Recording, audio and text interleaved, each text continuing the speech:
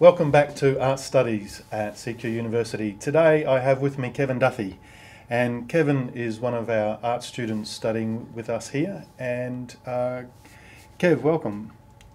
Pat. Can can you tell us, Kev, uh, what course you're currently studying? I'm doing a diploma in visual arts Okay, uh, here at uh, Central Queensland Uni, great, great. uh, TAFE campus. At um, in Rockhampton. Yeah, that's right, that's correct. So can you tell us uh, what was your main motivation in applying for the diploma of visual arts? Main motivation was uh, uh, I've, I've always had a, a dream to uh, to go somewhere with my my creative um, talents, and um, I after a forty year hiatus, I decided that you know now that I've got work and everything else sorted out, children and such like, I was in a situation where I could uh, you know go back and do some some further study. Right, right. Was there any instances that kind of led you to make the decision to do that now as a mature age student? Yes, yes. I uh, uh, my wife encouraged me to. Uh, she knew that I had an interest in in, in painting, and she, um, uh, God bless her, she got me uh, all the materials I needed to return to painting, an easel and canvases and such like, and uh, paints, of course. And I uh, proceeded to um, um, create again. And uh, then it was suggested to me that I enter um, an exhibition, and so I I uh, did just that, and I uh, I got a prize. I won a prize, and so I thought, well, you know, um, you know, someone likes my work, and so I uh, you know decided to uh, you know continue on uh, with uh, some further further education to try to uh, you know, to try to improve on on on that uh, you know on that uh, that that ability that I knew was in me. I, it was locked away, and I just had to get it out. So, Kev, how far through the course are you at the moment? Uh, I've got about uh, ten weeks to go. Okay. So, um, across two semesters, you're nearing the, the completion of your program then? That, that's right. That's Yeah. correct. Okay. And um, given that you've had an opportunity to, to be involved with quite a number of units in the diploma, there's um, 15 altogether, and you're just, as you said, finishing off. Um, can you recall, uh, whilst studying, I'd say, over the last nine months, if there's been any particular content either across the theory or the more of the practical classes that really um, seem to be particularly relevant to where you're at and what it is that you're looking to do with improving your skills and knowledge? Oh, definitely colour. Okay. Yeah, the use of colour. I just uh, was blown away with uh, you know with the you know just the options uh, available in, in expressing myself, you know, through painting by using colour. Mm. Um, it's uh, it's just uh, an area that I hadn't even considered, you know, with my practice, and uh, and uh, I'm um, I'm just going from strength to strength, you know, uh, with uh, with some good uh, teaching, which has helped me to help to to uh, to direct me to channel me in the right right direction to keep on track. That's great to because it's quite easy to sort of you know you know head off in some other direction Mm, mm, and uh, then you know of course you miss the know, you miss the you miss the station mm. if you're on that train There's often the, the perception that in, uh, in a structured course there's going to be practical components and theoretical components. And I think initially at the start they seem to be quite different, they seem to be quite separate.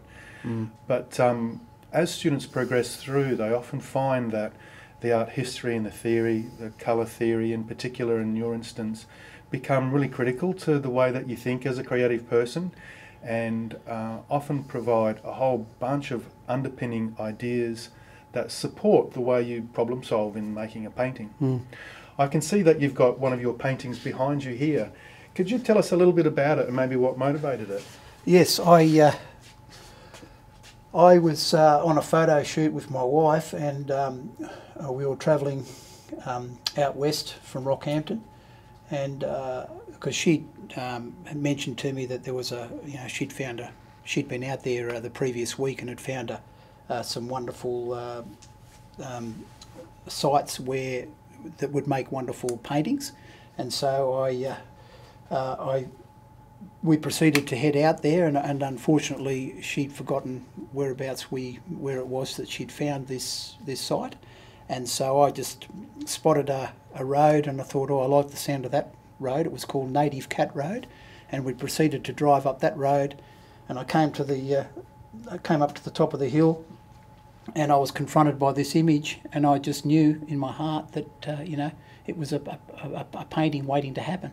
So I took a, number of photos, and then uh, you know, then took it back and started to you know work at bringing it together.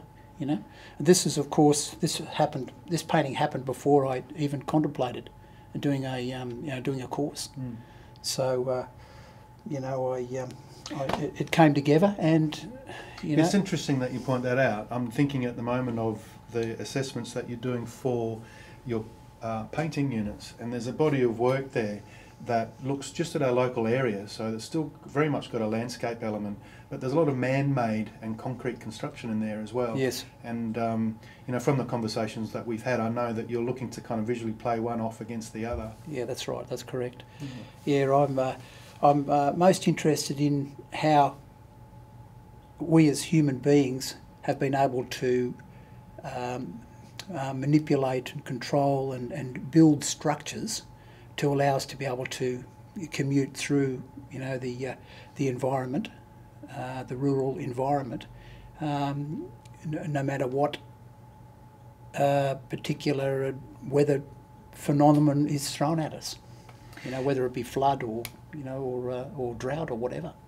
So, as a result of your studies, you've, um, or whilst you're studying, you've participated in a number of exhibitions. I know that you've had some work um, shown locally in town, and also that you've been a part of the Central Queensland um, CQU creates. creates. Yeah, yeah. Um, can you foresee that after maybe your um, diploma studies are completed? That you'd like to continue exhibiting and um, entering competitions? Oh, most most definitely. And yeah. do you think that the diploma will have prepared you better for those sorts oh, of professional experiences? Definitely, yeah. definitely. I, uh, I, uh, to be quite honest, before I started this course, I really didn't have a didn't have a clue. I was just sort of fumbling around, you know, in the dark, you know, right across the the, the, whole spectrum of uh, you know the art world and what uh, what what it involves. You know what uh, you know what's what's out there. And uh, um, this course has given me a good grounding.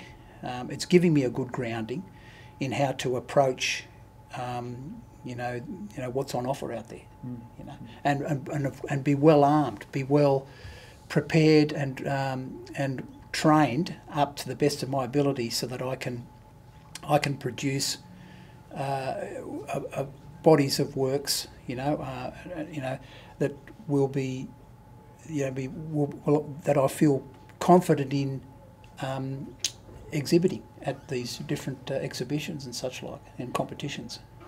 Well, as a teacher, I really enjoy obviously talking about painting and helping students on that journey, and um, it's provided us an opportunity to get to know each other a little bit. And yes. I've I've enjoyed the conversations that we've had, and and watching you you know grow as as an artist, and I can see that you will continue to do it, and I'm sure um, receive a degree of success in, in what it is that you're looking to do next. And I just wanted to wish you all the best, and I'm sure that um, we'll see you exhibiting around the regions uh, in central Queensland and further afield. Well, thank you, Pat. Yeah, all right. Good, Kevin. And, thank uh, you.